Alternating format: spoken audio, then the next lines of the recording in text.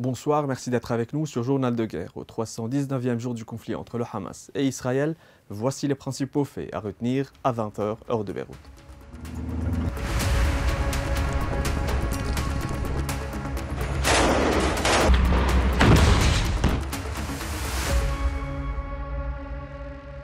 Commençons par un point sur la situation au Liban et au nord d'Israël. Mardi, les médias israéliens ont fait part du lancement de 20 roquettes du Liban Sud vers la Galilée occidentale après une matinée très agitée des deux bords.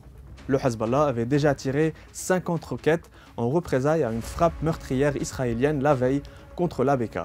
Celle-ci visait un entrepôt d'armes du Hezbollah et a fait 11 blessés. De plus, un cadre du parti armé pro-iranien a été tué lundi soir dans une frappe israélienne sur une voiture à tir.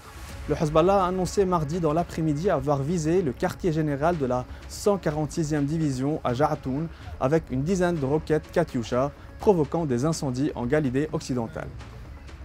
Dans la matinée, la formation armée pro-iranienne avait annoncé avoir bombardé la 210e division du Golan dans la caserne de Nafah, toujours en représailles aux raids nocturnes sur la Beka. Il a également ciblé la caserne de Branit et des équipements d'espionnage à Jal al-Alam. D'autre part, les bombardements israéliens ont visé Kfar Hammam, Aït al-Shab, Aïtaroun, Talousa et Wazani.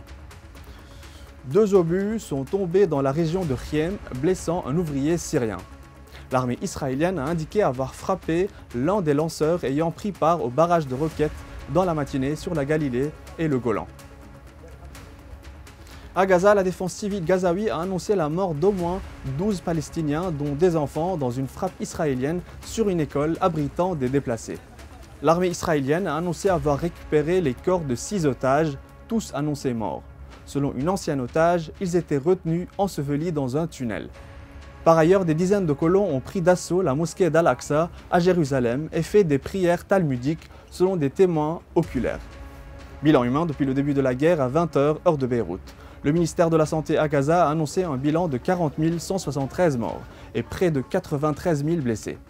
Côté israélien, approximativement 1200 morts sont officiellement recensés par l'État hébreu depuis le début du mois de novembre 2023. Ce chiffre reste inchangé selon les données officielles malgré des annonces régulières de soldats tués dans les combats. L'armée israélienne a toutefois annoncé qu'au moins 354 soldats ont été tués dans des combats à la frontière nord avec le Liban et dans la bande de Gaza. Aux États-Unis, des manifestants contre la guerre d'Israël à Gaza ont brièvement franchi la barrière de sécurité extérieure de la Convention démocrate à Chicago, quelques heures avant que le président américain Joe Biden ne passe le flambeau à la nouvelle candidate Kamala Harris. Sur le plan diplomatique, le secrétaire d'État Anthony Blinken a eu des discussions mardi en Égypte avant d'aller au Qatar pour pousser à un accord de trêve à Gaza, à l'heure où le Hamas accuse Washington, je cite, de donner le feu vert à Israël pour poursuivre la guerre.